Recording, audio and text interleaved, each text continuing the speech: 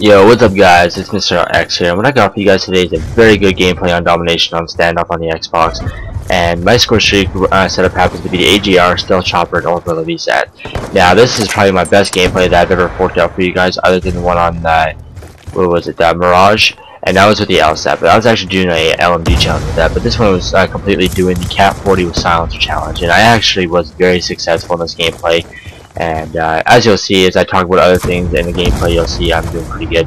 And um, I got a big announcement to make for you guys and I'm very excited to actually announce it and have this uh, come off my shoulders. I finally got myself a PS3 and now that the, I have the ability to do cross-platform gaming it just it's a whole new uh, you know I can social network with people across platforms and stuff like that. Now you guys can leave this in the comment section below on this question about you but on the PS3 are you limited to how many friends you can have compared to the Xbox? Because I know for the Xbox, it uh, has a limit of 100 friends. Now, I'm pretty sure, I'm not too sure on the PS3. I have no experience of what the friends list is at all. But you, like I said, you guys can leave in the comment section below. I know I can probably find it on my own, but there's not. I won't find too many people very soon on the PS3 as I am more networked on the Xbox as of right now. So um, yeah, you guys can leave that in the comment section below. And uh, another thing I wanted to get off my shoulders was the amount, uh, with uh, what games did I get for PS3. Uh, the games I got for PS3 was Black Ops 2, Modern Warfare 2 with Stimulus, and Modern Warfare 3. And I have a few more other PlayStation Classic games which are not really important to mention other than the three that I already did mention. And because there's are mainly the only three games I know will be mainly playing on the PS3 because with the whole YouTube thing and all that stuff, you know, I kind of want to do cross-platform gaming. And uh, Actually, the next uh, discussion I want to talk about it is the differences that I like between PS3 and Xbox and the similarities. So let's get with the differences first. Uh, first off, the quality for uh, PS3 and Xbox. So I'll use Netflix for this example.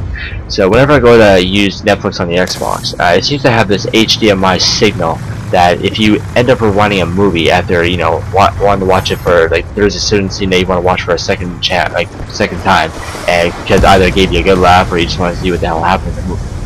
Well, with the Xbox, I noticed that when you rewind a movie, the signal strength itself has a uh, has a quality signal. So once that quality signal deducts itself down to roughly a two or one bar on the HD signal, the video degrades and it's crappy, like it pixelates. It's like if you download a movie on YouTube and you watch it as it was, it's not really good as if you were to watch it on YouTube.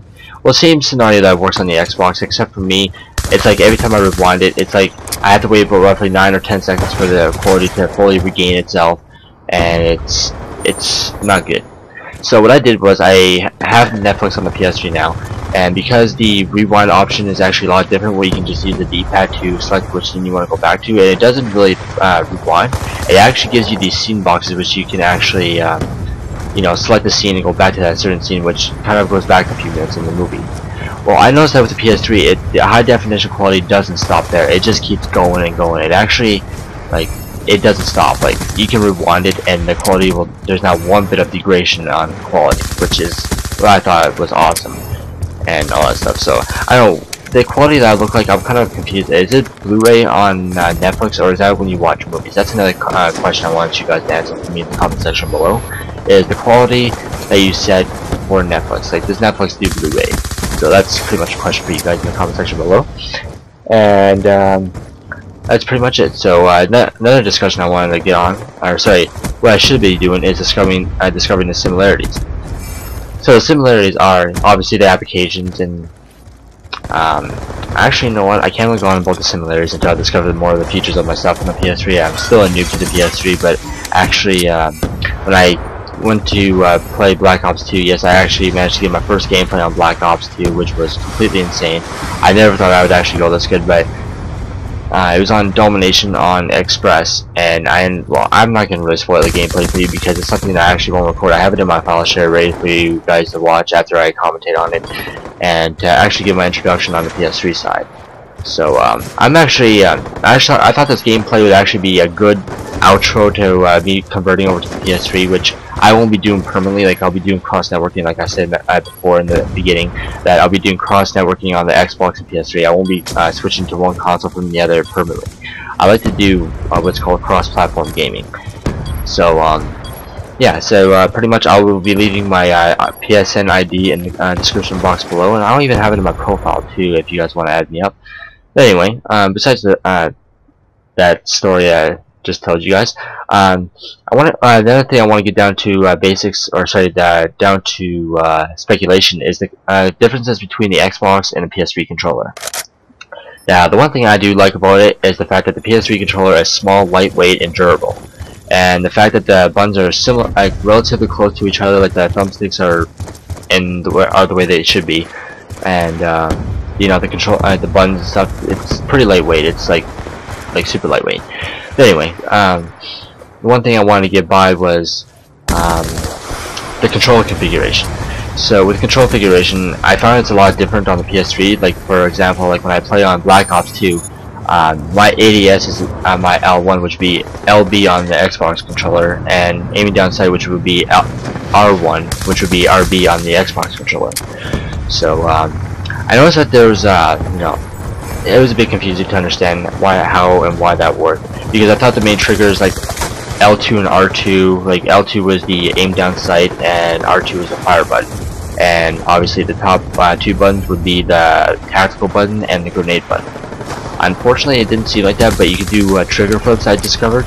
And I found it quite easy, but unfortunately because of how much you have to stretch the fingers from the thumbs to the index finger to uh, try and grip the uh, triggers, it's not quite the same because it's, um, I don't know, on the PS3 controller it seems like the, the triggers on the bottom are more flattened and more widened more so than the Xbox controllers, hence why the Xbox controllers are, uh, are configured automatically for the triggers to be the aim down sight and the fire button.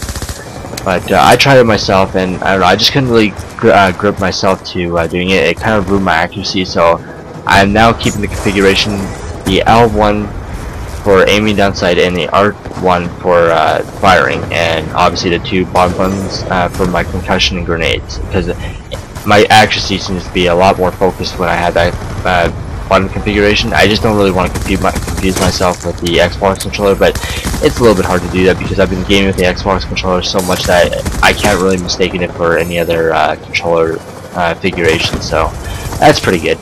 And that is why I, the gameplay that I'll bring to you guys on from the PS3 is going to be very good because of how well um, I was able to uh, adapt to the PS3 controller.